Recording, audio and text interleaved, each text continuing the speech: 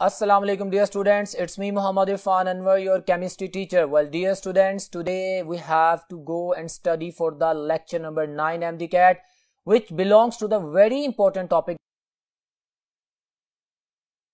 the transition elements. जी transition elements जो कि UHS topic three inorganic chemistry से एसोसिएटेड है so let's move towards the lecture और देखते हैं कि आज के लेक्चर में क्या है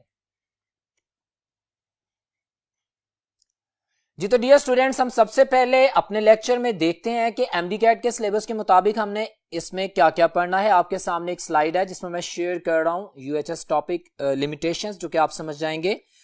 आप देख सकते हैं कि हमारे पास जो uh, आज का लेक्चर है लेक्चर नंबर नाइन जिसमें ट्रांजिशन एलिमेंट्स की बात करनी है तो कौन कौन से रिलेटेड टॉपिक है हम बात करेंगे ट्रांजिशन एलिमेंट्स की। उनकी इलेक्ट्रॉनिक कॉन्फिग्रेशन की वेरिएबल ऑक्सीडेशन स्टेट की डेफिनेटली उनका यूज़ एज अ कैटलिस्ट उसकी बात करेंगे।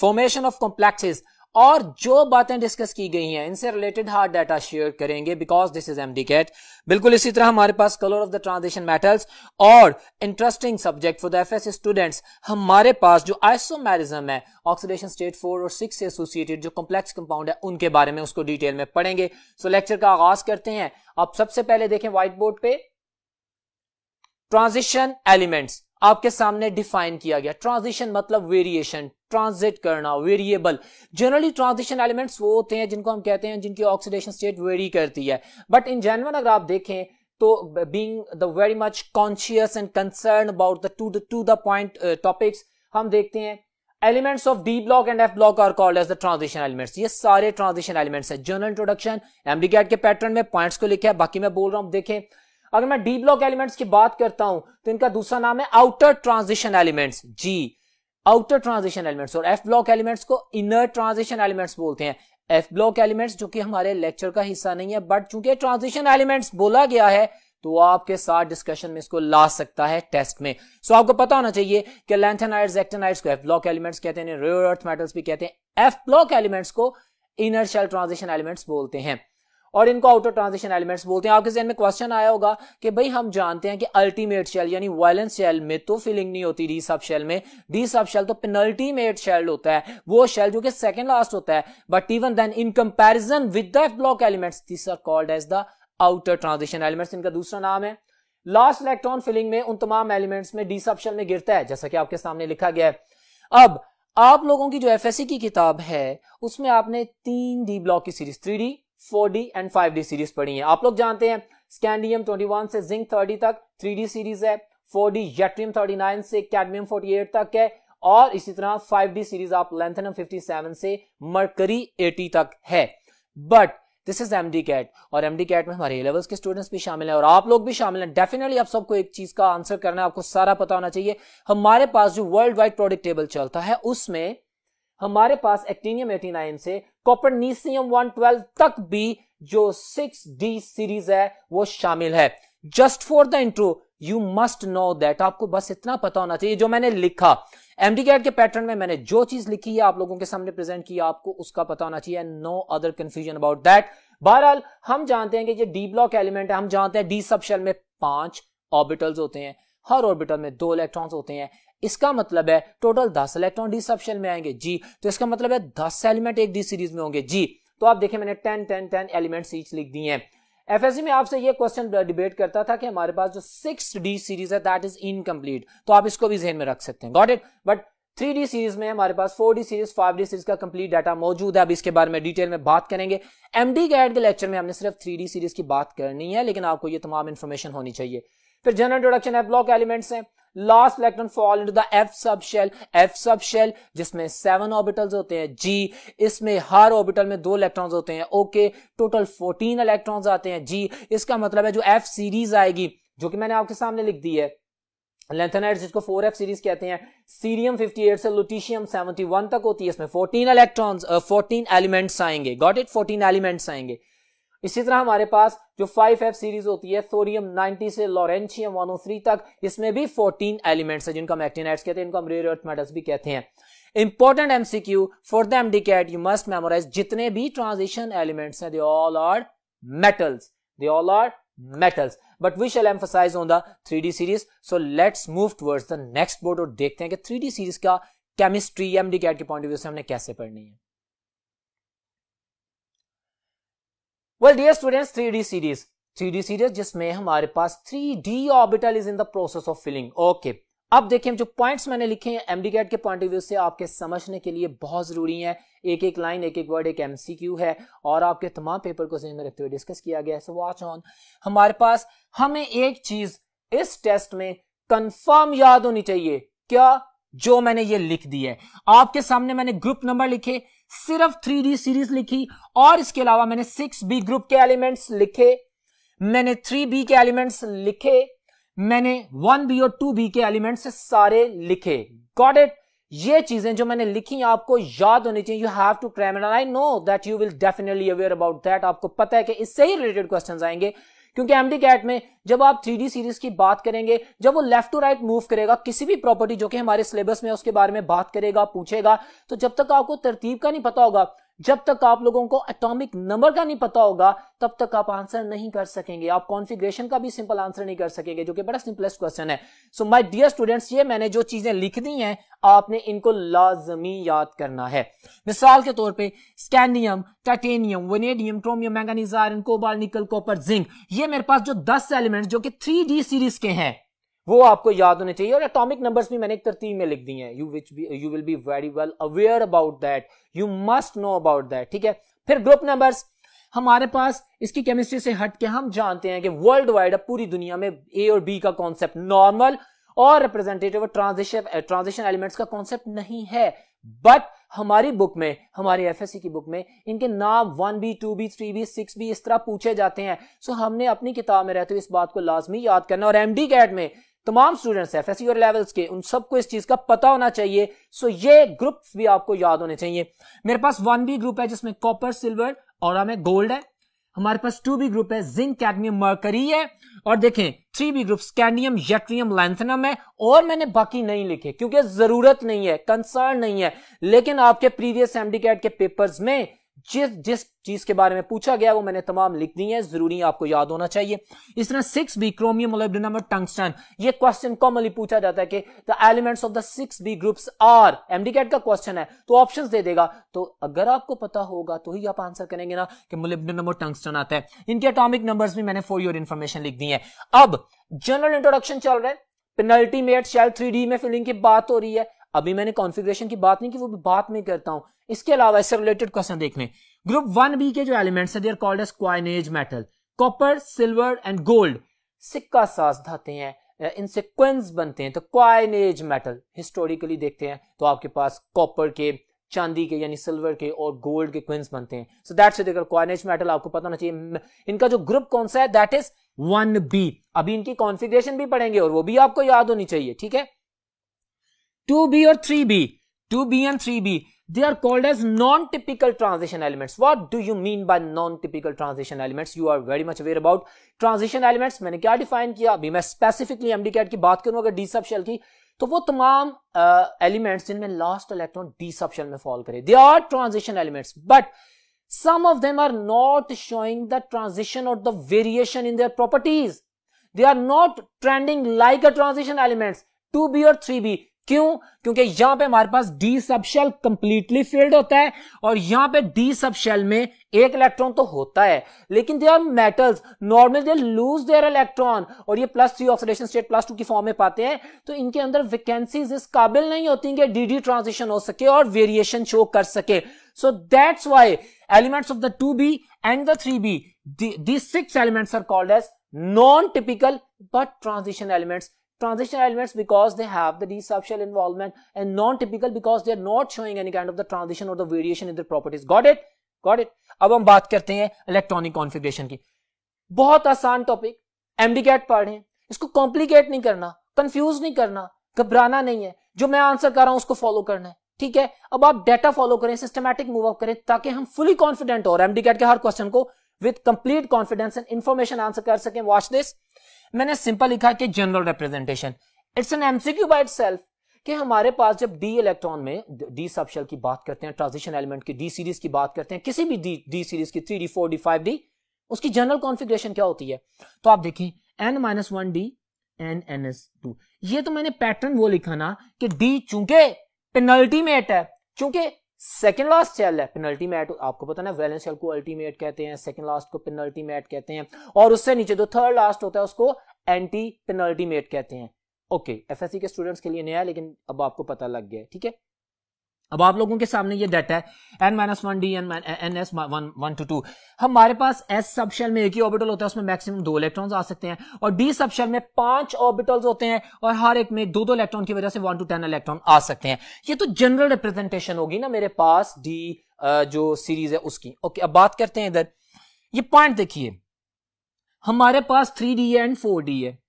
हम जानते हैं principal quantum number three and then the principal quantum number four normally ये जहन में आता है, जो कि नहीं आना चाहिए, क्योंकि आप केमिस्ट्री पढ़ चुके हैं, आप लोगों ने तमाम ऑफ़ वॉ पॉलिक एक्सक्लूजन प्रिंसिपल्स पढ़े हुए हैं, आपको इलेक्ट्रॉन कॉन्फिग्रेशन का बेसिक आइडिया है। लेकिन फिर भी जहन में आता है ना कि भाई फोर में पहले फिलिंग क्यों होती है?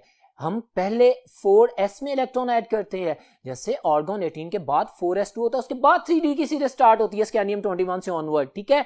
क्यों ऐसा होता है? रूल है see this N plus L rule हमने पढ़ा हुआ है in the in the previous topics of the physical chemistry and we will read about that also once again कि n plus l will principal quantum number n plus as mutual quantum number l इन दोनों को figure up sum up करते हैं for example अगर मैं 4s की बात करता हूँ तो 4 प्लस हम जानते हैं कि जब s सब शेल होता है तो उसके mutual quantum number value l zero होती है l is zero it means that is s sub shell उसने 4s सब शेल कहा तो four principal quantum number plus L zero, answer आता है four four plus zero, four. तो four S में answer आ गया एन प्लस एल वैल्यू का फोर। अगर थ्री डी की बात करते हैं तो principal quantum number three, sir, okay. But D sub shell, as mutual quantum number L की वैल्यू अगर टू होगी, two, L is equal to two, that is the D sub shell. तो N plus L, three plus two, three D stand for five. So my dear students N plus L rule के तहत जिसकी value कम आएगी N plus L उसको पहले fill करेंगे, बाकी को बाद में फिल करेंगे। सो दैट्स वाई बेशक मेरे पास ये प्रिंसिपल क्वांटम नंबर फोर में और ये इसका सेकंड लास्ट शेल होता है, लेकिन एस में फिलिंग पहली होती है, क्योंकि एन प्लस रूल के मुताबिक हमारे पास जो फोर एस है या जो फाइव एस है, जो सिक्स एस है, जो एन एस है, इसकी एन प्लस एल वैल्यू कम आती है। That will be full okay तो ये हमने जेन में रखना है। एक तो ये ट्रेंड आ गया।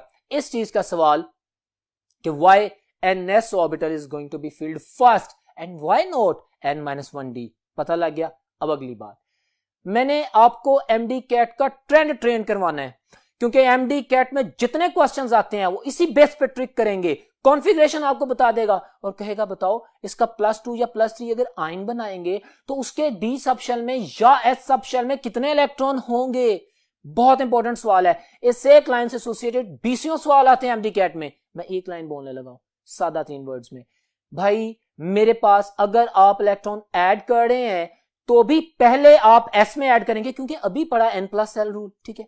और अगर इलेक्ट्रॉन निकालने हैं, अगर आपको एक ट्रांजिशन मेटल या कोई एलिमेंट दे दिया जाता है, आपने इलेक्ट्रॉन निकालने हैं, जिसमें डी सीरीज़ इन्वॉल्व है तो आप फिर भी एस में से पहले निकालेंगे। आप एस में से इलेक्ट्रॉन पहले निकालेंगे। ये चीज़ याद होगी क्वेश्चन आता है, क्यों एस में से पहले क्यों निकाला जाएगा? उसकी रीजन ये है माय डियर स्टूडेंट्स बेशक हमारे पास फोर एस एंड थ्री में, जो हमने फिलिंग पहले की है फोर एस की की है, बाद में थ्री डी की की है, लेकिन थ्री डी और फोर एस में एनर्जी डिफरेंस बहुत माइनर होता है, बहुत कम होता है। जब डी सब शेल में इलेक्ट्रॉन्स आते हैं सबशेल डी में इलेक्ट्रॉन्स आते हैं, जो कि बाद में फिल हो रहा है, पहले एस में फिलिंग हुई थी तो रिपल्शन की वजह से एस की एनर्जी हाई हो जाती है। और एस की एनर्जी जब हाई होती है तो वो न्यूक्लियस से अवे हो जाते हैं, वो मोर एक्सपोज हो जाते हैं, और फिर इलेक्ट्रॉन एस में से पहले निकलते हैं। I hope you got the concept justification with the logical reasoning इस चीज़ को जेन में रखना है। बहरहाल, जो प्रैक्टिस है, हमने एस में से इलेक्ट्रॉन पहले ऐड करने और उसमें से ही निकालने हैं। गॉड इट अब बात करते हैं, इधर आए। तो ये मैंने पॉइंट लिख दिए। Electrons will be released first from the N S orbital यानी four S five S six S जो भी होगा एस सब शेल से निकलेंगे। इसको मैंने जस्टिफाई कर दिया। अब कॉन्फ़िगरेशन मैं बात कर रहा हूँ। थ्री डी सीरीज़ की, जो कि मेरा एम डी कैट सिलेबस है। So three D series scandium 21 से स्टार्ट होती है। स्कैंडियम 21 आर्गॉन देखे ना जनरली लिख दिया 18 electron if I could write that मैं इसे लिख सकता हूँ। आप भी लिख सकते हैं। One S two two S two two P six and so on आप 18 इलेक्ट्रॉन पूरे करें। आप नोबल गैस आर्गॉन की कॉन्फिग्रेशन पूरी करें। But point to be noted ज़्यादा आपके प्रीशियस टाइम को सेव करने के लिए या इसको ऐसे भी रिप्रेजेंट करते हैं ऑर्गोन यानी अठारह इलेक्ट्रॉन हो गए। आप दो इलेक्ट्रॉन फोर एस टू पहले मैंने उसमें फिल करना है, ठीक है? ठीक है फोर एस टू इसमें फिलिंग की। अगर आप फिलिंग का पैटर्न लिखेंगे ना माय डियर स्टूडेंट्स तो ये तो जनरल मॉडल रिप्रेजेंटेशन है ना, जिसकी वजह से मैं डी को पहले लिख रहा हूँ, क्योंकि इसमें प्रिंसिपल क्वांटम नंबर को कंसीडर कर रहा हूँ रिप्रेजेंट करने के लिए। लेकिन अगर मैं एनर्जी के पैटर्न में लिखूँगा तो भाई फोर एस पहले लिखा जाएगा थ्री डी बाद में लिखा जाएगा। But any it's simple notation you very much aware about that आपको पता है। Three D one four S two got it तो यहाँ पे ट्वेंटी हो गया दैट ट्वेंटी वन बहुत खूबसूरत कॉन्सेप्ट अभी इसी व्हाइट बोर्ड पे जरा ऊपर मूव करें अंडरस्टैंडिंग के लिए, जहाँ पे मैंने थ्री डी सीरीज़ लिखी है। Scandium 21 for example, are 4s2 3d1 okay? Then left to right, atomic number increase करता है। लेफ़्ट टू राइट एक एक इलेक्ट्रॉन ऐड हो रहा है ना? वॉच दिस और प्रोटोन न्यूक्लियस में। टाइटेनियम 22 तो इसकी कॉन्फ़िगरेशन क्या होती है? वर्ड सुनिएगा please focus on 4s2 3d2 simple vanadium 4s2 okay 3d3 okay very right and chromium four S two three D four होनी चाहिए ना? क्रोमियम सिक्स बी सीरीज़ है. इसको four S four S two three D four होना चाहिए ना? Normal configuration तो यही बनती है ना? बट ये अनस्टेबल है. ये नॉर्मल तो है बट अनस्टेबल कॉन्फ़िगरेशन है. What do you mean by the stability and instability listen dear students हमारे पास हम जानते हैं। See on the white board मैंने लिखा हुआ है कि ऑर्बिटल्स या तो कंप्लीटली फिट सबसे ज़्यादा स्टेबल कंप्लीटली फिट ऑर्बिटल्स होते हैं। उसके बाद हमारे पास हाफ़ फ़ील्ड ऑर्बिटल की स्टेबिलिटी ज़्यादा होती है और सबसे कम स्टेबिलिटी उनकी होती है जो इरेगुलरली फ़ील्ड होते हैं इरेगुलरली फ़ील्ड होते हैं। कंप्लीट भी नहीं होते हाफ़ भी नहीं होते। ऑर्बिटल स्टेबिलिटी की वजह से हमारे पास member of the group six B chromium molybdenum tungsten and the member of one B group one B copper silver और गोल्ड ये एबनॉर्मल कॉन्फ़िगरेशन शो करते हैं normally normally they show abnormal configuration because their abnormal configuration in accordance with the orbital stability is more stable मिसाल के तौर पे मैं justify करता हूँ। ये देखिए मैंने लाइन लिख दी है। कॉपर और मतलब कॉपर भी और क्रोमियम भी। सिक्स भी यहाँ में मेरे पास जो थ्री डी फोर है अगर होता और यहाँ पे फोर एस टू होता तो three D four half filled orbital नहीं है ना डी सब शेल में अगर डी जनरेसी को देखें हुंड्स रूल को देखें डी जनरेट ऑर्बिटल्स को देखें तो पाँच ऑर्बिटल्स में अगर पाँच इलेक्ट्रॉन्स आ जाएँगे तो सारे ऑर्बिटल हाफ़ फ़ील्ड होंगे और वो ज़्यादा स्टेबल होंगे। होता क्या है कि फोर एस टू से जंप अप करके थ्री डी फोर में इलेक्ट्रॉन आ जाता है थ्री डी फाइव हो जाता है। सो so, मेरे पास normal but stable configuration of the six B group is four S one three D five very simple I think you will understand अब बिल्कुल इसी तरह आगे चलते हैं मैंगनीज अब आने वाला जो दूसरा इलेक्ट्रॉन है ना मैंगनीज में, अब वो डी में नहीं जाएगा, वो पहले एस में जाएगा. क्यों? क्योंकि एस कंप्लीटली फ़ील्ड होने जा रहा है. Because completely filled orbital is more stable than the half filled orbitals तो मैंगनीज 25 में 4s2 3d5 got it iron 4s2 3d6 आपको कॉन्फ़िगरेशन का पता होना चाहिए. एमडी कैट में क्वेश्चन आएँगे। ये जो मैं कॉन्फ़िगरेशन बोल रहा हूँ you have in front of you मैं आपको समझा रहा हूँ। अब आपको यह भी पता लग गया कि इलेक्ट्रॉन आइंस में कैसे निकालने हैं, कैसे ऐड करने हैं और कॉन्फ़िगरेशन पैटर्न कैसे चल रहा है। कोबाल्ट 27 4s2 3d7 हो जाएगा निकल में 3d8 हो जाएगा। अब वंस अगेन ये जो मैंने डिस्कशन की, यहाँ पे जो नॉर्मल कॉन्फ़िगरेशन है कॉपर में, या जो सिल्वर है, इनकी बैलेंस की कॉन्फिग्रेशन बात करें गोल्ड की तो 4s2 3d9 होना चाहिए ना। 4s2 3d9 एक तरफ़ एक s कंप्लीटली फ़ील्ड है, दूसरी तरफ़ पाँच ऑर्बिटल कंप्लीटली फ़ील्ड हो रहे हैं। बिल्कुल इसी वजह से फिर मेरे पास जो कॉपर फैमिली है ग्रुप वन भी है, उसमें मेरे पास s इलेक्ट्रॉन जंप अप करता है डी में और हमारे पास d10 and S one configuration आ जाती है, जो नॉर्मल नहीं है बट स्टेबल है। तो abnormal but stable configuration on the basis of orbital stability order. ये आपको एक्सप्लेन किया, आपको इन तमाम चीज़ों का पता होना चाहिए। आपको पता होना चाहिए कि one B group coinage metal के एलिमेंट कौन से हैं सिक्स बी के एलिमेंट कौन से हैं टू बी और थ्री बी को नॉन टिपिकल ट्रांजिशन एलिमेंट कहा जाता है तो क्यों कहा जाता है और वो एलिमेंट्स कौन कौन से हैं? जब आप पैटर्न में मूव करेंगे, आपको पता होना चाहिए कि जब हम इलेक्ट्रॉनिक कॉन्फिग्रेशन कर रहे हैं तो हमारे पास अब नॉर्मल इलेक्ट्रॉनिक कॉन्फ़िगरेशन कहाँ पे आती है? Group six B and group one B क्यों आती है ऑर्बिटल स्टेबिलिटी के सेंस में? लिसनिंग में वर्ड्स फिर इसके अलावा आप लोगों को एक कॉन्फ़िगरेशन अगर दे दी जाए, मैं आपसे भी एमसीक्यूज की बेतहाशा प्रैक्टिस करवाऊँगा, पर लिसन माय वर्ड्स आपको एक एक कॉन्फ़िगरेशन दे दीजिए और कहा जाए, बताओ। आयरन 26 है F twenty six four S two three six मुझे बताओ F E plus two listen my word F E plus two दो इलेक्ट्रॉन निकालने हैं। तो डी सबशेल में कितने इलेक्ट्रॉन होंगे? आपको अगर पता होगा, मेरी बात सुनी होगी कि भाई एस में से पहले निकालने हैं तो आप कहेंगे, भाई डी सबशेल में छह इलेक्ट्रॉन होंगे, क्योंकि जो दो इलेक्ट्रॉन निकालने हैं, वो मैंने एस सबशेल से निकालने हैं पहले. गॉड इट और अगर थ्री होगा तो फिर वो सिनेरियो आप इस तरह एडजस्ट करेंगे अंडरस्टैंड करेंगे. So that was about the electronic configuration in words के ऊपर फोकस कीजिएगा. ये जो लाइंस हैं worth important MCQs in the rules अब हम चलते हैं नेक्स्ट बोर्ड पर देखते हैं वहाँ पे क्या है. जी तो dear students oxidation state you know what is oxidation state very much the common definition charge on an element in a molecule apparent charge उस पर क्या होता है ऑक्सीडेशन स्टेट वेरिएबल हो सकती है ऑक्सीडेशन स्टेट प्लस माइनस हो सकती है एक ही एलिमेंट की ऑक्सीडेशन स्टेट डिफरेंट हो सकती है जिसको वेरिएबल बोला और ऑक्सीडेशन स्टेट फ्रैक्शंस में भी हो सकती है ऑक्सीडेशन स्टेट हमें बहुत सी चीज़ें बताती है वो मैं सारी अभी बताता हूँ, लेकिन हम ट्रांजिशन एलिमेंट्स पढ़ रहे हैं, हम थ्री डी सीरीज़ के ऊपर फोकस कर रहे हैं। हमारे पास, आप लोगों की बुक्स में भी लिटरेचर मौजूद है सिलेबस में उनको पॉइंट्स की फॉर्म में मैंने सामने किया उसको मैं डिस्कस करता हूँ। बट ट्रांजिशन एलिमेंट्स को बेसिकली ट्रांजिशन आइडेंटिफाई करने की एक बुनियादी रीजन ऑक्सीडेशन स्टेट थी, जो उनकी वेरी करती है। सो ट्रांजिशन एलिमेंट्स में सिवाय जिंक के सो लिसन माय वर्ड्स बाकी सब की ऑक्सीडेशन स्टेट वेरिएबल होती है। मैंने बड़े प्रेशियस पॉइंट लिखे हैं व्हाइट बोर्ड पे, आप लोगों के लिए see on the white board सबसे पहले variable oxidation state due to the less energy difference between N S and N minus one D orbitals हमारे पास क्वेश्चन कर लें जी के डी सीरीज़ में ट्रांजिशन एलिमेंट्स में वेरिएबल ऑक्सीडेशन स्टेट क्यों होती है? तो इसका बड़ा सिंपल आंसर है। बिकॉज़ अभी जो मैंने पहले बताया था कि एस मतलब एन एस और N minus one D subshell के दरमियान या इनके दरमियान ऑर्बिटल्स में फ़र्क बहुत कम होता है एनर्जी डिफरेंस बहुत कम होता है। इलेक्ट्रॉन ट्रांजिट करते हैं मूव करते हैं, जिसकी वजह से हमारे पास वेरिएबल ऑक्सीडेशन स्टेट आती है। गॉट इट ये आपके सामने आ गया। All three D elements show common oxidation state that is plus two MCQ है। आप अपनी एफएससी की बुक में देखें, अगर या में देखें तो आप देखते हैं कि जो स्कैनियम टाइटेनियम वनेडियम क्रोमियम है, इन सब की एक ऑक्सीडेशन स्टेट कॉमन है, और ये एमडी कैट का बड़ा पॉपुलर क्वेश्चन है कि transition elements show which one of the following common oxidation state common oxidation state एक क्वेश्चन सुने, बहुत खूबसूरत सवाल आपसे शेयर करने जा रहा हूँ। Common oxidation state plus two information and oxidation state of the transition element, which is commonly found. Got it? दोनों में बहुत फ़र्क है। ट्रांजिशन एलिमेंट स्टेट की कॉमनली ऑक्सीडेशन स्टेट कौन सी होती है?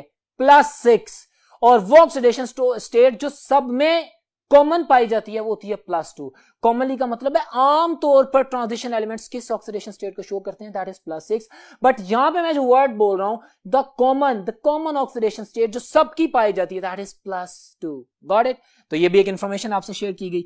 अब ये देखें, अगर आप अपनी बुक में देखें तो मैंगनीज हम अपने सिलेबस में रहेंगे, हम अपने लेवल एफ़ के सिलेबस में रहेंगे। उसके मुताबिक बात कर रहा हूँ ट्रांजिशन सीरीज़ का डाटा गॉट तो हमारे पास मैंगनीज आयरन और copper they show plus one oxidation state they show plus one oxidation state और थ्री सीरीज़ में इनके अलावा कोई भी प्लस वन ऑक्सीडेशन स्टेट नहीं शो कर रहा थ्री डी सीरीज़ में। गॉट इट ये भी याद रखना एमसीक्यू में पूछा जा सकता है कि which one of the following can show the plus one oxidation state तो बजाय इसके क्या वही लिटरेचर क्रैम करें you listen my word and see the line which I wrote for you people so plus one उसके बाद manganese show the maximum oxidation state that is plus seven my dear students usually हम पढ़ते हैं concept भी है। जो हमारा group number होता है ना, वो मैक्सिमम पॉसिबल ऑक्सीडेशन स्टेट होती है, ठीक है?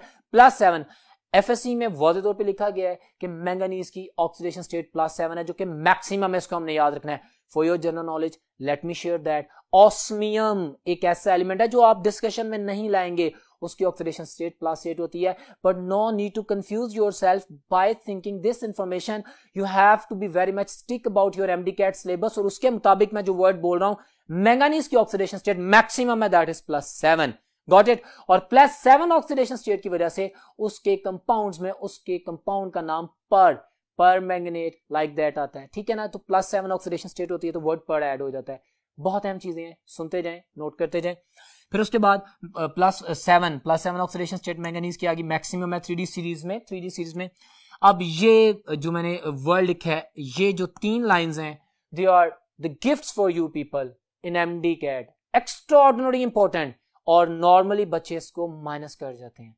लिसन हमारे पास हायर ऑक्सीडेशन स्टेट्स जो भी ट्रांजिशन एलिमेंट्स हैं, अगर वो अटैच होंगे ना ऑक्सीजन और फ्लोरीन के साथ, अगर किसी कंपाउंड में ट्रांजिशन एलिमेंट ऑक्सीजन और फ्लोरीन के साथ अटैच होंगे तो उनकी मैक्सिमम यानी हाई ऑक्सीडेशन स्टेट्स आएँगी। Vanadium pentoxide K M N O four K two M N O four K two C R two O seven got it?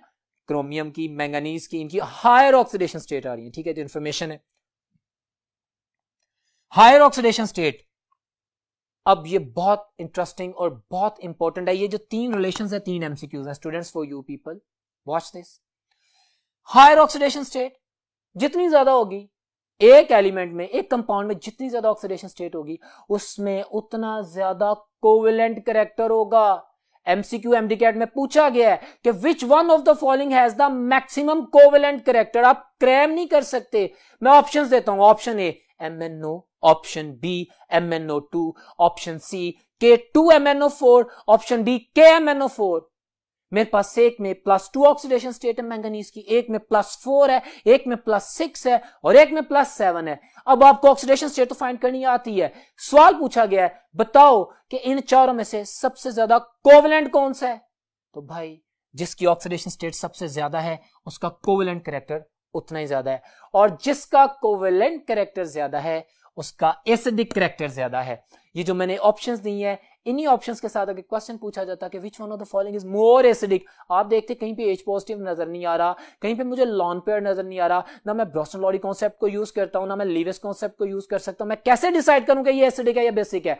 तो मैं ऑक्सीडेशन स्टेट से डिसाइड कर सकता हूँ। This is transition element chemistry very important and very informative तो ये relation काम आएगा. And this is the vice versa low oxidation state होगी. आयोनिक बॉन्ड की जो नेचर है वो ज़्यादा होगी और बेसिक करेक्टर ज़्यादा होगा. गॉड इट तो ये दोनों लाइंस आपके बहुत काम आएँगी. आपको पता होना चाहिए. नेक्स्ट मैं बता चुका हूँ कि हमारे पास जो थ्री सीरीज़ है ना, उसमें जिंक जो है ना, वो सिर्फ़ plus two oxidation state show करता है. ठीक है? अच्छा ये नॉन टिपिकल ट्रांजिशन एलिमेंट है. इसका कलर व्हाइट होता है. इसकी प्रॉपर्टीज़ डिफरेंट है जो आपके सामने. Oxidation first increase then decreases हम जानते हैं, बात करते हैं स्कैंडियम से। Let suppose scandium plus two plus three then titanium plus two three four then vanadium then chromium then up to the manganese chromium plus six and manganese plus seven उसके बाद decrease करती हैं oxidation state पहले increase करती हैं, फिर decrease करती हैं। क्लियर हो गया? तो ये पॉइंट्स भी आपने याद रखने very common common data in front of you जो कि आपको पता होना चाहिए। तो ये एक्सप्लेन किया गया। वेल माय डियर स्टूडेंट्स और इसके अलावा मैं कुछ एमसीक्यूज की प्रैक्टिस करने से पहले, जो कि जितना लिटरेचर मैंने आपको ब्रीफ किया है, अभी मैं ये पॉइंट भी बता दूँ, इसका transition element as a catalyst बड़ी कॉमन प्रॉपर्टी एमडी कैट में पूछा गया है कि ट्रांजिशन एलिमेंट्स हमारे पास एज अ कैटलिस्ट के तौर पे यूज़ होते हैं। हम किसी बाइंडिंग एनर्जी की बात नहीं करें, हम पैरामैग्नेटिज्म की बात नहीं करें, हम किसी लॉन पेयर या एम्प्टी ऑर्बिटल्स की बात अभी नहीं करें। पता क्यों हमारे एमडी कैट के सिलेबस में नहीं है? But things which are something related उनका तस्करा ज़रूर रहेगा। एज अ कैटलिस्ट अगर यूज़ करते हैं they are the very common catalyst अभी मैं उनके सामने एग्जाम्पल्स भी आपसे शेयर करता हूँ। क्यों कैटलिस्ट के तौर पर यूज़ होते हैं? Reason why why transition elements are going to be used as a catalyst? Watch this. Presence of the vacant d orbitals हमारे पास इन एलिमेंट्स के पास एम्पटी स्पेसिस होती हैं। ऑर्बिटल्स में जगह खाली होती है, जिसमें वेलकम कर सकते हैं। रिएक्टिंग स्पीशीज के इलेक्ट्रॉन को वेलकम करते हैं, उनको अटैच करवा सकते हैं, ताकि उनका रिएक्शन हो सके। सर्विस प्रोवाइड करते हैं ना surface tendency to show the variable oxidation state of course they have the variable oxidation state क्यों होती hai अभी of course empty d orbitals होंगे जंप अप करेंगे जंप डाउन करेंगे वेरिएशन शो करेंगे ठीक है साइड्स ऑफ़ एड्सॉर्प्शन हम जानते हैं कि इंटस्टिस होती हैं एम्पटी स्पेसिस पाई जाती हैं, जिसमें हमारे पास स्मॉल एटम्स आके एड्जॉर्ब हो जाते हैं और फिर रिएक्ट भी कर सकते हैं। एक तो इंटस्टिशियल कंपाउंड बनते हैं ना, जिनमें फ़िज़िकल रिलेशनशिप होता है केमिकल नहीं होता बट वो प्रॉपर्टीज़ को चेंज करते हैं। लेकिन वो ट्रांजिशन एलिमेंट की प्रॉपर्टी के वाले से बात है, जो मैं नहीं कर रहा। मैं जब फ़ंक्शन ऑफ़ अ कैटलिस्ट काम करता हूँ कि जब इंटस्टिस मौजूद है रिएक्शन करने के लिए जगह मौजूद है सर्फेस मौजूद है एरिया मौजूद है that's why they are functioning as a catalyst very simple अब कॉमन एग्जांपल्स दे दी हैं मैंने कैटलिस्ट की आपके सामने। टाइटेनियम टेट्राक्लोराइड एल्ट्राइथाइल एल्युमिनियम ये बहुत खूबसूरत कैटलिस्ट है। दो साइंटिस्ट थे जीगलर एंड नाटा एफएससी में नाम नहीं है। ए लेवल्स में नाम है, लेकिन रिएक्शन दोनों में है। आप जानते हैं, जब आपने इथाइलिन की पोलिमराइजेशन करके पोलीथाइलिन बनाया था, याद है ना चैप्टर एट में ऑर्गेनिक केमिस्ट्री में? एट दैट स्पेस आपने इस कैटलिस्ट को यूज़ किया था। मैंने वहाँ पे भी बताया था कि जिगलर नाटा कैटलिस्ट बोलते हैं इसको। ठीक है? तो ये आपके सामने है। अब देखें इसमें टाइटेनियम एक ट्रांजिशन मेटल है। यस ट्रांजिशन मेटल तमाम प्रॉपर्टीज़ ये जो डिस्कस मौजूद है इसमें। Vanadium pentoxide vanadium transition nickel hydrogenation में आपने यूज़ ही बहुत किया है, इसको हाई टेम्परेचर पे भी रैनी निकल की फॉर्म में भी अंडर प्रेशर भी गॉट इट ट्रांजिशन आयरन आप हेबरबोश प्रोसेस पढ़ लें आयरन ट्रांजिशन तो जितने भी ट्रांजिशन एलिमेंट्स हैं they are commonly use as the catalyst well my dear students इस तमाम इंफॉर्मेशन को जो अभी तक डिस्कस किया जेन में रखिएगा, कुछ एमसीक्यूज की प्रैक्टिस करते हैं। जी तो डियर स्टूडेंट्स अभी आप अपने सामने क्वेश्चन देख रहे हैं। वो कॉन्फ़िगरेशन का कॉन्सेप्ट सामने रखिएगा। क्वेश्चन है which of the following pair of the element show abnormal electronic configuration question आ गया। ये एमडी कैट का बहुत इंपॉर्टेंट क्वेश्चन है। उसको कॉपी किया है। तो हम जानते हैं कि हमारे पास कौन सी ऑप्शन है?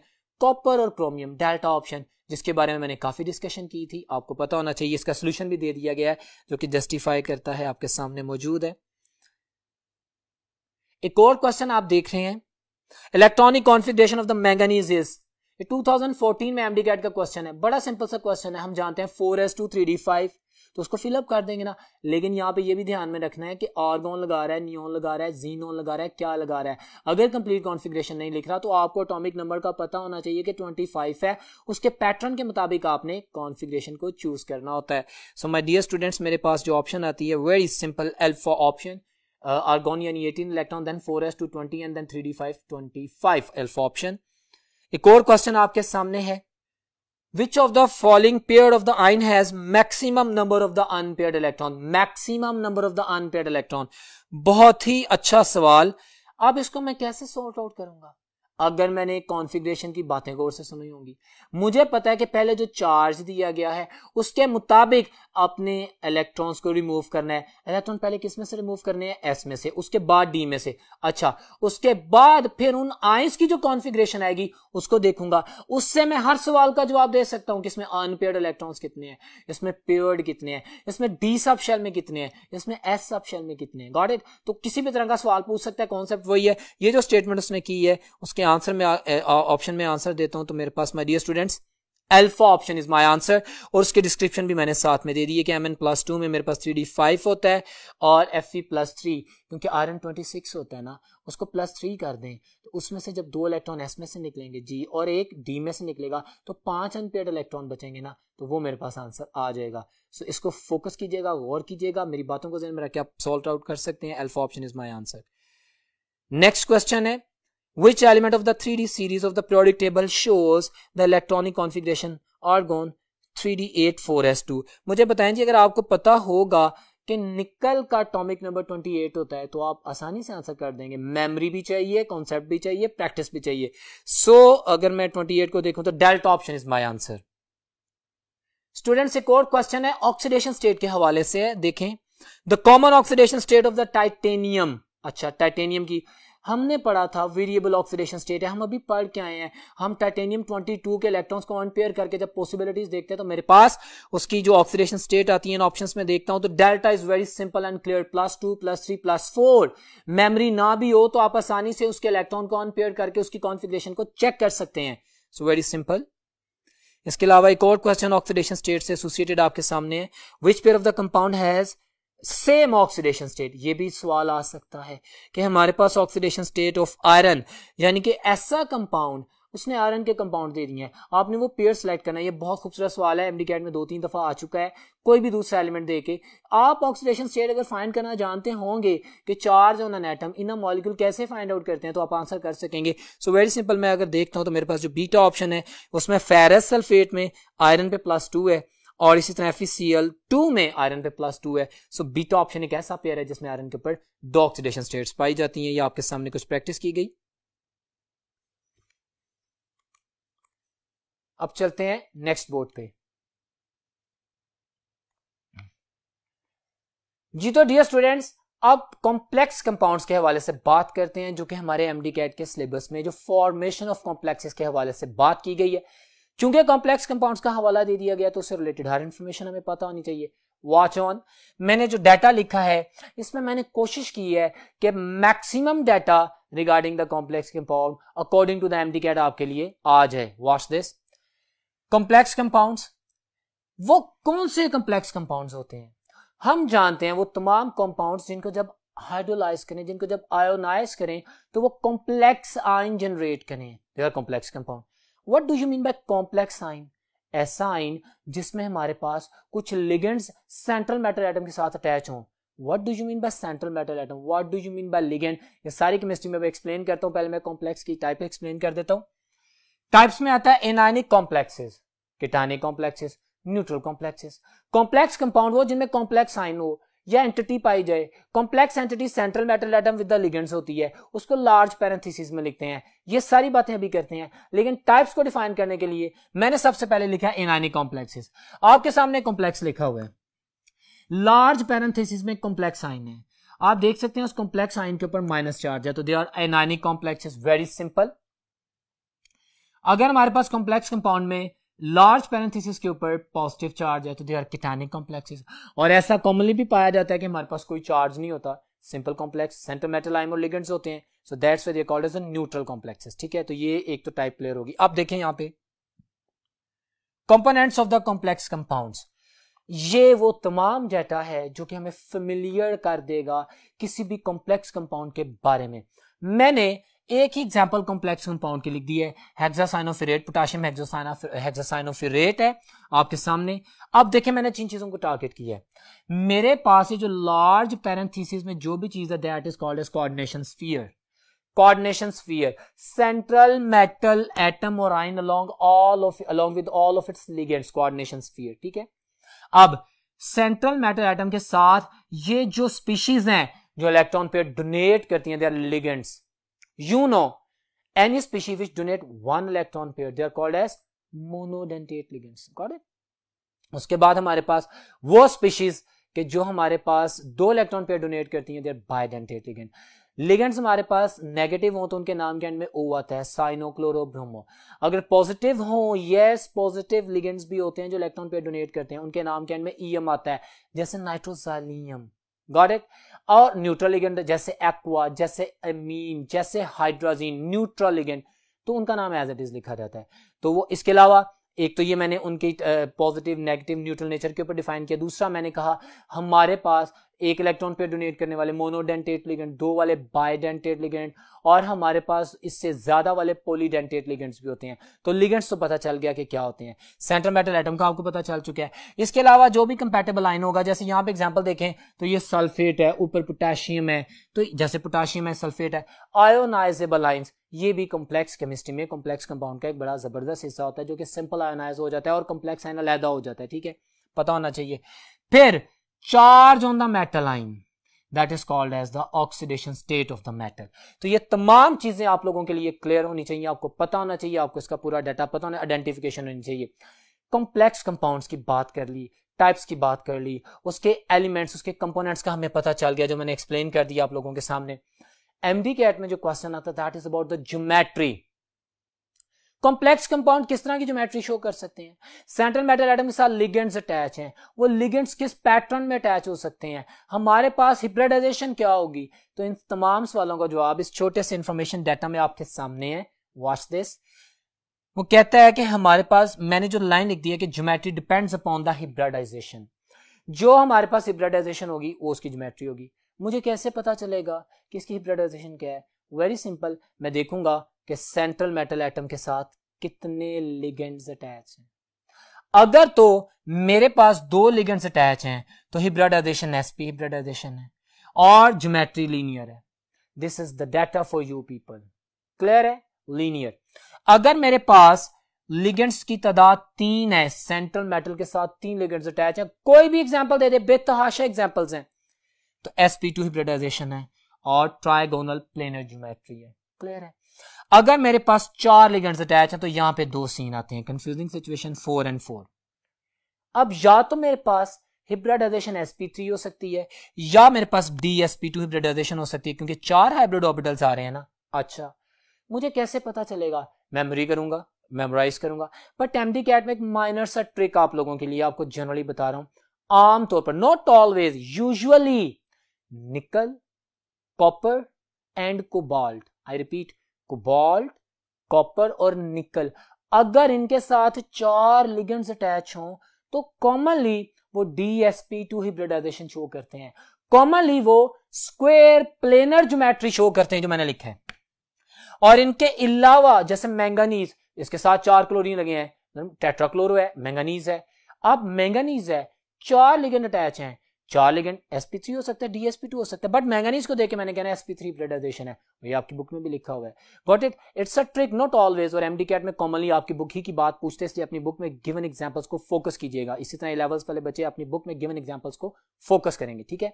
तो ये मैंने आपका ट्रिक बता दिया है which is based upon the data on your studies clear अब बात करते हैं, अगर मेरे पास पाँच लिगेंड अटैच हैं तो डीएसपी3 हिब्रिडाइजेशन है। ज्योमेट्री मेरे पास आ जाती है ट्राइगोनल बाय पिरामिडल ठीक हो गया? याद करना है मेमोराइज करना है, आपको पता होना चाहिए।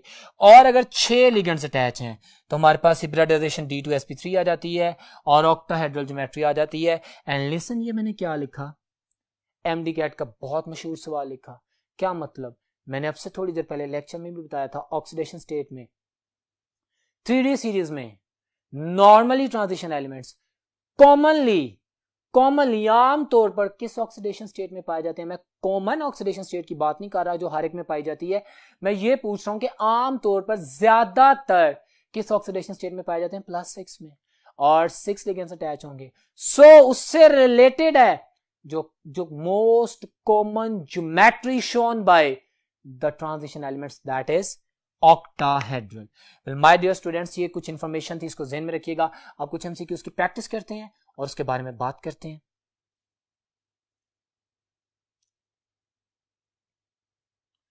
डियर स्टूडेंट्स एक क्वेश्चन आपके सामने है। आप देख सकते हैं क्वेश्चन लिखा हुआ है।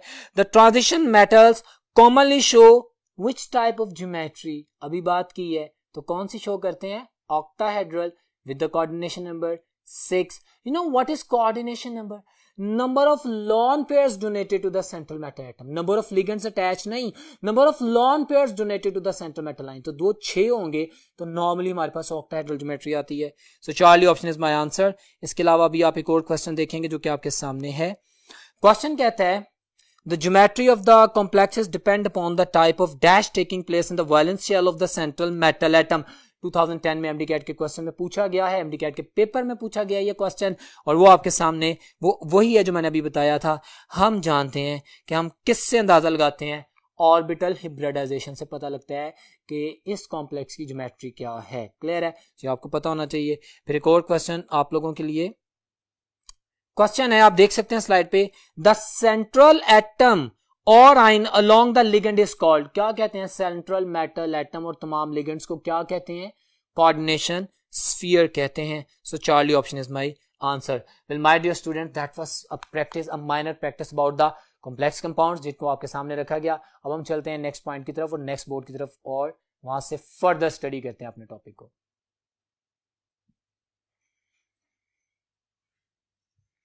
जी तो डियर स्टूडेंट्स अब हम बात करते हैं अपने एमडी कैट के सिलेबस में जो टॉपिक है colour of the complex compounds पहली बात colour chemistry belong to the transition elements got it क्यों? क्योंकि हमारे पास ट्रांजिशन एलिमेंट्स में वेरिएशन आती है ऑक्सीडेशन स्टेट में. क्यों आती है? हम जानते हैं कि उसमें से इलेक्ट्रॉन ट्रांजिट करते हैं. इस वजह से वो कुछ रेडिएशन को ऑब्जॉर्व करते हैं और कुछ को इमिट करते हैं, जिसकी वजह से कलर्स आते हैं. वो क्या केमिस्ट्री है see on the white board very simple colour of the complex compound में डियर स्टूडेंट हम थ्री डी सीरीज़ पढ़ रहे हैं। हम जानते हैं कि डी ब्लॉक एलिमेंट्स हैं। हम जानते हैं कि जो डी सबशेल उसके जो पाँच ऑर्बिटल्स हैं, वो डी जनरेट ऑर्बिटल्स हैं। हाँ हम जानते हैं। वो एक ही जैसी एनर्जी रखते हैं। But actually they split up वो बिखरते हैं इस फॉर्म में। हमारे पास ये एक्सिस की बेसिस के ऊपर उनकी ओरिएंटेशन चेंज होती है। ठीक हो गया? रिपल्शन काज नहीं है, कोई और रीजन नहीं है। ये density of the orbital electron का जो प्रेशर है, जो एक्यूमुलेशन है, जो चार्ज है, ये स्प्लिट अप कर जाते हैं। हमारे पास इस फॉर्म में बड़ी कॉमन एग्ज़ाम्पल आप लोगों के सामने आप लोग डिटेल में जानते भी हैं बुक में लिखी हुई है। बहरहाल, अगर हमारे पास वो इलेक्ट्रॉन जो कि डी सबशेल के डिफरेंट ऑर्बिटल्स में मौजूद हैं, जब वो स्प्लिट अप होते हैं हायर एनर्जी लोअर एनर्जी में तो डेफिनेटली जब इनके ऊपर कोई लाइट रेडिएशन पड़ती हैं, किसी भी फॉर्म की एनर्जी आती है तो इलेक्ट्रॉन एनर्जी ऑब्जॉर्व करते हैं। इलेक्ट्रॉन एनर्जी ऑब्जॉर्व करने के बाद हाई एनर्जी स्टेट में जाते हैं। हाई एनर्जी स्टेट में जंप अप कर जाते हैं और वहाँ से दोबारा जब वो ट्रांजिट बैक करते हैं, जब वो दोबारा रिवर्स आते हैं तो सिंपल फिनोमिना है यू बैटर्न एनर्जी रिलीज़ करते हैं। And energy release in the form of the radiation होती है। सिंपल फिनोमिना वेरी सिंपल हमारे पास जो कुछ रेडिएशन आती हैं they fall in the visible region जिसकी वजह से हमारे पास डिफरेंट विजिबल रीजन के कलर शो होते हैं कंपाउंड्स के एलिमेंट्स के कंपाउंड्स सॉलिड फॉर्म में and they are molten and solution form also ठीक है? क्योंकि मेटल लाइन तो वही है ना, वो कलर तो रिप्रेजेंट करेगा रेडिएशन को एब्जॉर्ब करेगा डी डी ट्रांजिशन होगी, ये फिनोमिनन चेक करें। अब ये कुछ पॉइंट्स मैंने लिखे हैं very much helpful in answering your M D CAT question ठीक है? Watch this the will uh, only be shown when there will be possibility of dd transition. इस लाइन का मतलब क्या है? मतलब ये है कि क्या सारे ट्रांजिशन एलिमेंट्स में सब ट्रांजिशन में डी ट्रांजिशन होती है? नहीं ऐसा नहीं है। किन में नहीं होती? वो ये आंसर है। Completely filled d orbital let suppose यहाँ पे अगर सारे कंप्लीटली फिल्ड हो तो इलेक्ट्रॉन किसमें जंप करके जाएगा और किससे वापस आएगा? ऐसा नहीं हो सकता। मसलन जो मैंने कहा था ना to be zinc cadmium mercury non typical transition element don't show colour क्योंकि उनका डी टेन कंप्लीटली फिल्ड होता है। यहाँ पे एक बात ये भी याद रखें, ये तो नॉर्मल एलिमेंटल फॉर्म में बात की। अगर आइंस की फॉर्म में आपको कोई ऐसा एलिमेंट बता दिया जाए, जो कि नॉर्मली कलर शो करता है लेकिन उसके ऊपर चार्ज ऐसा बना दिया जाए कि जब आप उसकी कॉन्फ़िगरेशन करें तो आपके पास डी एम्पटी हो सकता है। तो फिर आप क्या करेंगे? फिर आप सेम कॉन्सेप्ट को जेन में रखेंगे। मैं कहता हूँ titanium plus four oxidation state में कलरलेस है। क्यों? क्योंकि भाई एम्पटी वेकेंट ऑर्बिटल्स हैं। कुछ भी नहीं ऑन ऑर्बिटल्स में। कोई इलेक्ट्रॉन नहीं है जिसकी वजह से एक्साइटेशन या डी एक्साइटेशन हो।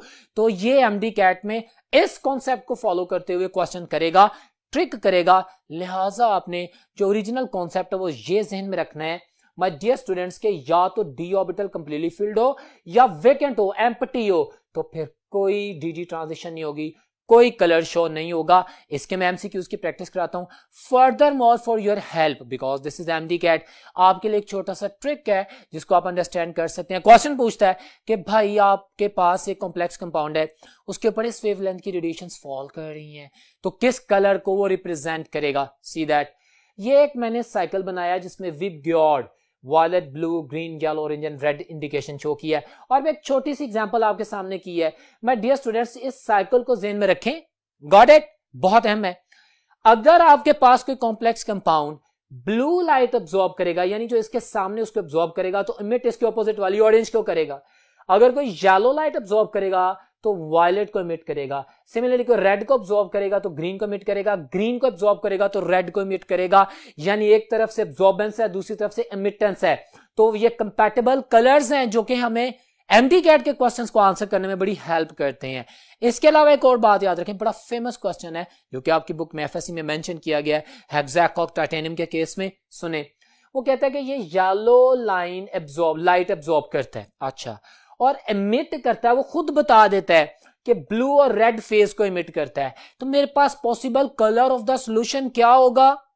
वो कह रहा है येलो लाइट एब्जॉर्ब होता है और ब्लू और रेड इमिट करता है। तो आप इन दोनों के दरमियान वाली फेस में ट्रांसमिटर्स में आ जाएँ तो ब्लू और रेड का जो कॉम्बिनेशन है, वो वायलेट होगा। तो आप कहेंगे वायलेट कलर होगा। गॉट इट अगर आपके पास एक लाइन की एब्जॉर्प्शन करने के बाद मैं एमडी कैट के पैटर्न पे फोकस कर रहा हूँ फोकस ऑन वो आपसे दो कंपेटेबल एडिशन पूछ लेता है। तो आपको पता है, एक तो आप डायरेक्टली आंसर कर सकते हैं जो मैंने ट्रिक आपको बता दी है कि वायलेट एडिशन एमिट होगी।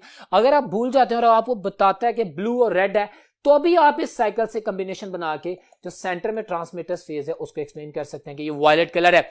मैं कलर केमिस्ट्री के हवाले से वेरी इंपॉर्टेंट एमडी कैट के कुछ एमसीक्यूज आपके सामने रख रहा हूँ और गाइड कर रहा हूँ। ये तमाम इंफॉर्मेशन आपके लिए यूज़ होगी। जी तो डियर स्टूडेंट एक क्वेश्चन है आपके सामने। आप देख सकते हैं question which one of the following pair of the ion is colourless अब ये नॉन टिपिकल ट्रांजिशन एलिमेंट की केमिस्ट्री को भी जेन में रखें और बाकी जो पॉइंट मैंने बताया कि चार्ज लगाने के बाद जब आप उसकी कॉन्फ़िगरेशन फिलअप करेंगे, उसी पैटर्न के मुताबिक पहले एस में से इलेक्ट्रॉन फिर डी में से इलेक्ट्रॉन निकालेंगे। फिर अगर आप देखते हैं कि आपके पास डी एम्पटी हो गया तो वो कलर शो नहीं करेगा। इसी पैटर्न का क्वेश्चन है, वो आंसर कर रहे हैं। ऑप्शंस दिए हैं उसने मुझे कहा है एल्फा ऑप्शन में टाइटेनियम प्लस थ्री अगर प्लस फोर होता तो पॉसिबिलिटी थी। प्लस थ्री का मतलब है अभी इलेक्ट्रॉन है। सो so, ये तो नहीं है। अच्छा बीटा में कहता है scandium plus three and zinc plus two yes zinc तो वैसे नॉर्मल कंडीशन में भी कलरलेस है। Four s two three d ten है। अब जिंक प्लस टू कह दिया तो कुछ भी नहीं हुआ। प्लस टू का मतलब है एस में से दो इलेक्ट्रॉन्स निकले। एस में से दो इलेक्ट्रॉन्स निकले और डी टेन नहीं है। तो कंप्लीटली फ़ील्ड है ट्रांजिशन नहीं होगी डी डी ट्रांजिशन नहीं होगी, कोई कलर नहीं आएगा। और स्कैंडियम प्लस थ्री एस में से भी दो इलेक्ट्रॉन निकल गए और एक इलेक्ट्रॉन जो डी में था, वो भी निकल गया। डी एम्पटी है। जिंक के केस में कंप्लीटली फ़ील्ड है। स्कैंडियम प्लस थ्री के केस में एम्पटी है। तो no colour no d d transition so very simple beta option एक और क्वेश्चन आपके सामने द पॉपुलर क्वेश्चन जो कि एफएससी में भी हाईलाइट किया गया, वो भी वंस अगेन जिसका मैंने अभी तस्करा भी किया था। वो कॉम्प्लेक्स बता रहा है टाइटेनियम सेंट्रल मेटल एटम उसके साथ छह एक्वा यानी पानी के छह लिगेंड अटैच है मॉलिक्यूल अटैच है। ट्रांसमिट अब वो पता क्या कह रहा है? Transmit yellow and red light transmittance got it transmittance red and वो जो मैंने अभी आपके सामने व्हाइट बोर्ड पे देखें पैटर्न शो किया था तो ये मेरे पास ब्लू और रेड के कॉम्बिनेशन में वायलेट है। अच्छा वो कहता है ट्रांसमिटेंस की कौन सी रेडिएशन है? So option delta is my answer red and blue जो कि मैं आपको बता चुका हूँ आपको पता होना चाहिए। और ये डायरेक्ट भी पूछ सकता था अगर कलर्स दे देता ग्रीन ऑरेंज वायलेट तो मेरा आंसर होता वायलेट लेकिन उसको ये बताना चाहिए था कि वो येलो लाइट एब्सॉर्ब करेगा। क्लियर है? सो so, इस बेसिस के ऊपर क्वेश्चन होंगे। सो so, आपके सामने एक और क्वेश्चन मैं प्लेस कर रहा हूँ। कहता है which of the following ion is colourless same pattern का क्वेश्चन बताएँ। अब देखेंगे ना कि जो एम्पटी डी ऑर्बिटल होगा क्योंकि प्लस आयंस की बात कर रहा है या कंप्लीटली फिल्ड होगा तो उसमें आप बताएँगे। सो so, इनमें ऑप्शंस में देखता हूँ वनेडियम प्लस फाइव है vanadium plus five vanadium plus five. Yes, ये जब पाँच इलेक्ट्रॉन निकल जाते हैं तो डी एम्पटी हो जाता है हमारे पास हमारे पास एस बी एम्पटी हो जाता है। कोई इलेक्ट्रॉन नहीं होता, कोई ट्रांजिशन नहीं होती। So alpha is my answer. अगर मैं कॉपर प्लस टू की बात करता हूँ तो कॉपर प्लस टू की कॉन्फिग्रेशन फोर एस ज़ीरो होगी, थ्री नाइन है। वहाँ पे अनपेड है, वहाँ पे स्पेस है। हाँ कॉपर प्लस वन होता तो वो कलरलेस होता, क्योंकि वो थ्री डी टेन होता। Got it? तो ये तमाम केमिस्ट्री और कॉन्सेप्ट को जहन में रखिएगा, जो आप लोगों के लिए एक्सप्लेन की है। Now move toward the next board और very important very very important topic जो कि आइसोमेरिज्म के हवाले से है जो कि एफएससी के बच्चों को बहुत ज़्यादा एम्फोसाइज करना पड़ेगा ए लेवल्स के बच्चे are quite familiar about that but I am telling you I am teaching you again so see on the next white board My dear student, what is isomerism? Compounds having the same molecular formula but different structures. Yes, this is isomerism. They are isomers of each other. अब हमने MD cat के syllabus में जो coordination compounds हैं, जो complex compounds हैं, उनके बारे में पढ़ना है कि वो कैसा आइसोमेरिज्म शो करते हैं। Very important data for you people you have to understand in simplest way see that सबसे पहले तो इसकी दो प्रिंसिपल कैटेगरीज हैं structural isomerism and stereo isomerism structural isomerism की डेफिनेशन आप जानते हैं, आपने ऑर्गेनिक में भी पढ़ा है, वही डेफिनेशन है। Compound having the same molecular formula but different structure and stereo isomerism of course compound having the same molecular formula but different special arrangement of the identical groups in the space clear हो गया? मैं stereo isomerism की बात बाद में करता हूँ। पहले मैं structural isomerism coordination complex compounds के हवाले से बता रहा हूँ। पहला पॉइंट जो structural main one principal type है आइसोमेरिज्म की कोऑर्डिनेशन कंपाउंड्स की, वो आगे चार कैटेगरीज में डिवाइडेड है। एमडी गेट सिलेबस को जहन में रखते हुए। गॉट इट पहली टाइप आप देखें। तो कोऑर्डिनेशन आइसोमेरिज्म नाम से ज़ाहिर है, मैं पहले एग्जांपल दूँगा, उसके बाद जस्टिफाई करूँगा, क्योंकि ये बहुत अहम है। कोऑर्डिनेशन आइसोमेरिज्म आपके सामने दो मॉलिक्यूल्स हैं। लेट सपोज़ ये मैंने ना केसेस रखे हैं। ये मैंने पेयर बनाए हैं। दो दो कॉम्प्लेक्सेस के पेयर बनाए हैं। आप ये देख सकते हैं, हमारे पास एग्जामीन और कोबाल्ट है। ओके यहाँ पे हेक्सासाइनो को। ये एक पेयर है।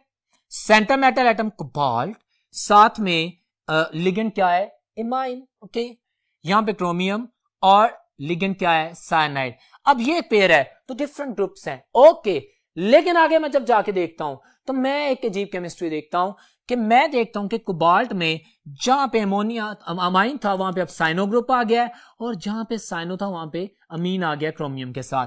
तो this type of the isomerism the structural isomerism of the coordination compounds जिसमें isomerism caused by the interchange of the ligands interchange of the ligand this is called as coordination isomerism example आपके सामने दे दी definition बता दी. I hope you got it next पे चलते हैं.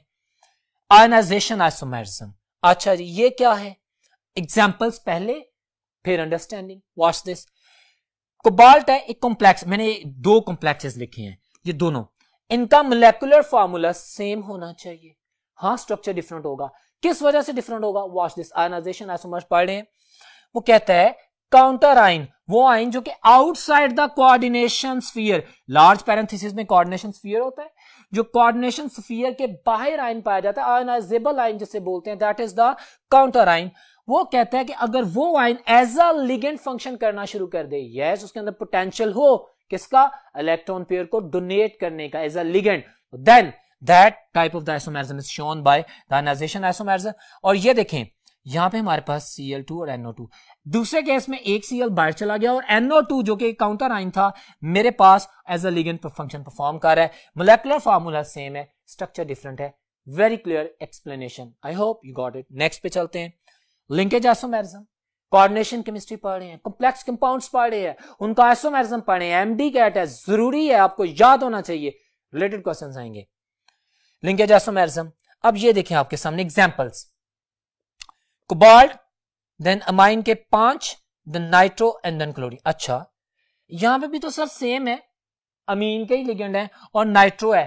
Sorry nitro नहीं है नाइट्रीटो है।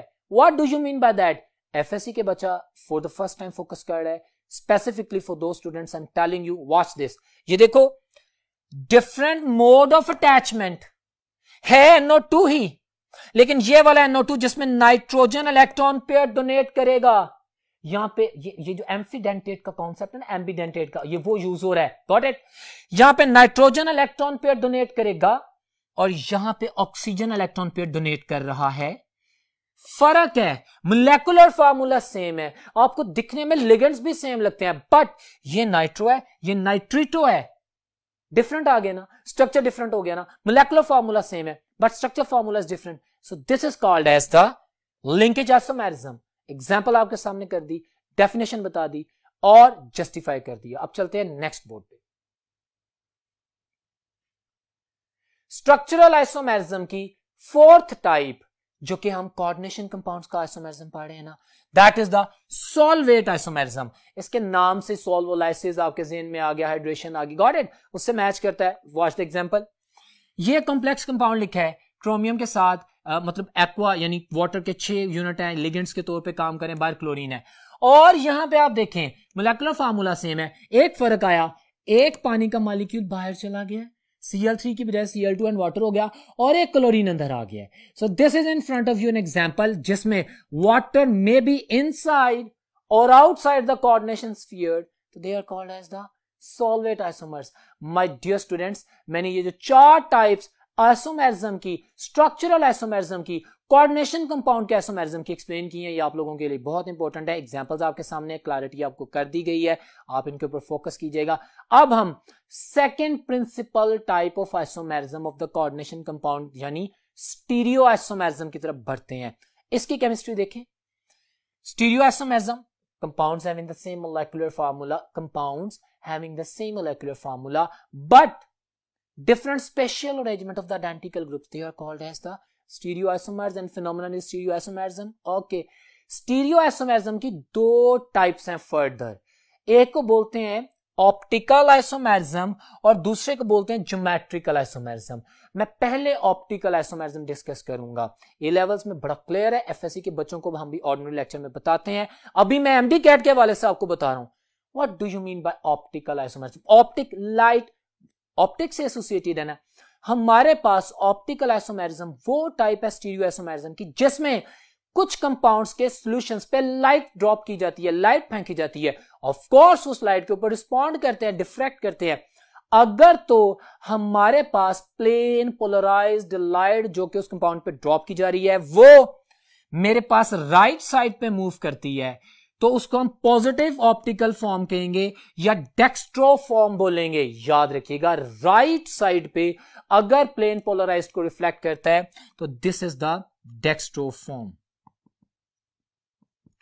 और वाइसवर्स अगर लेफ़्ट साइड पे करता है लाइट को तो दैट इज़ लिवो फॉर्म उसको नेगेटिव बोलेंगे। एक और बात यहाँ पे याद रखें ऑप्टिकली एक्टिव वो कॉर्डिनेशन कंपाउंड होगा जिसमें कायरलिटी होगी and you better know what do you mean by the chirality जो कि ऑप्टिकली एक्टिव होने के लिए ज़रूरी है कि सेंटर आपके पास डिफरेंट यूनिट्स के साथ अटैच होना चाहिए।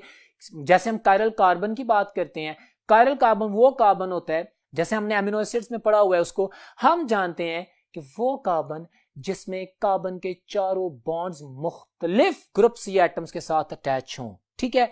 So chirality and optical activity and dextro form and levo form right side पर जो हमारे पास रिफ्लेक्शन है रिफ्लेक्शन है रोटेशन है that is called as dextro form और लेफ़्ट साइड वाली लिवोफॉर्म लिवो को नेगेटिव से शो करते हैं डेक्स्ट्रो को पॉजिटिव से शो करते हैं। याद रखिएगा।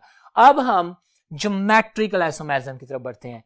बहुत मुश्किल कॉन्सेप्ट बच्चों को लगता है। वेरी सिंपल मोड में इंतहाई सादा तरीन कॉन्सेप्ट मैंने क्लियर किया आप लोगों के लिए। फोकस दैट ज्योमेट्रिकल आइसोमेरिज्म जिसे हम सिस ट्रांस आइसोमेरिज्म भी कहते हैं। जिसे हम सिस्ट्रांस के अलावा कॉन्फिग्रेशनल आइसोमेरिज्म भी बोलते हैं। क्लियर है? उसकी एग्जांपल्स हैं।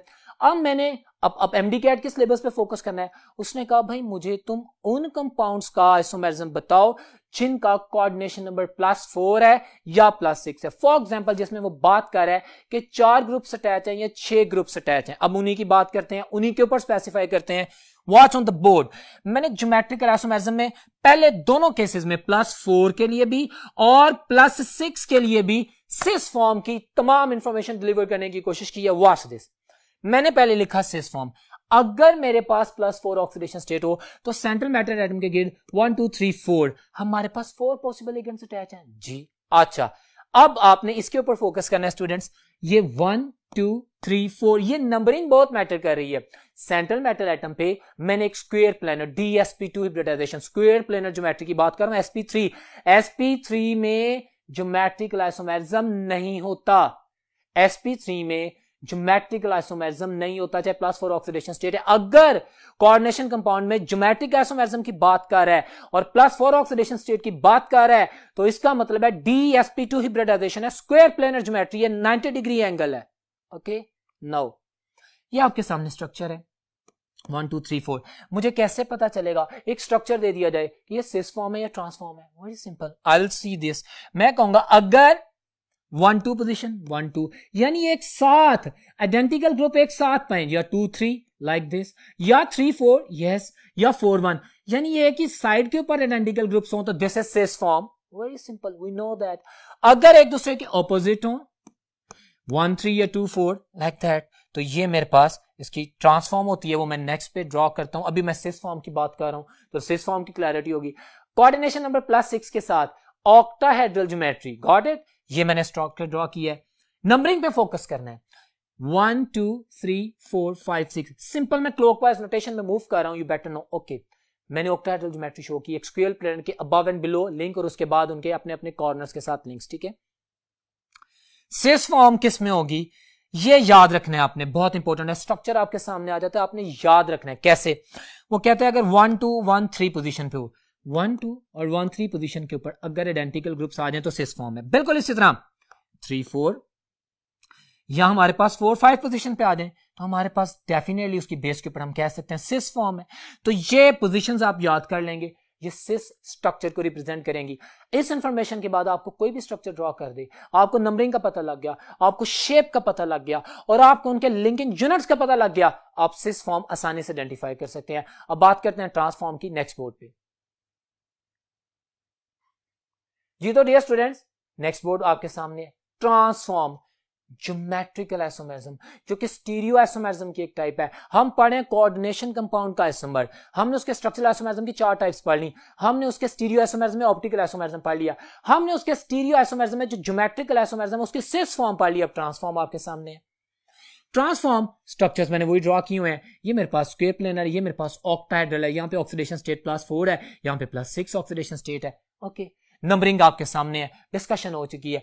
मेरे पास ट्रांसफॉर्म का केस जैसे मैं पहले बता चुका था कि अगर मेरे पास वन थ्री या टू फोर कॉम्बिनेशन आ जाए opposite identical groups are opposite to each other they are called as trans forms clear है? अब आपको पता लग गया स्ट्रक्चर आ जाए। एमडी कैट में आपके सामने पेपर रख दे। You will be very much able to answer that clear है? यू मस्ट आंसर दैट अब देखें in the coordination number plus six अब देखें स्ट्रक्चर सामने पॉसिबिलिटीज क्या है? कहते भाई आइडेंटिकल ग्रुप्स ऑपोजिट आ जाए वन फोर की टू फाइव या थ्री सिक्स ऑपोजिट साइड पे आ जाए the transforms well my dear students that was all about the today's very important lecture which was about the transition elements which was about the properties discussed according to the mdcat syllabus properties उसको हमने पढ़ा explain किया मैंने कोशिश की कि आपके MD cat के जो जितने भी पॉइंट्स उनको सामने रखते हैं आपको क्लियर किया जाए और ए लेवल्स का डाटा एफएससी के स्टूडेंट्स के लिए और एफएससी का डाटा बाकी स्टूडेंट्स के लिए भी मैंने शेयर किया। उम्मीद करता हूँ आपको लेक्चर समझ आया होगा और इनशाला इस लेक्चर की मदद से आप अपने आप को काफ़ी इंप्रूव करेंगे। इनशाला नेक्स्ट लेक्चर में मुलाकात होती है, तब तक अल्लाह हाफिज।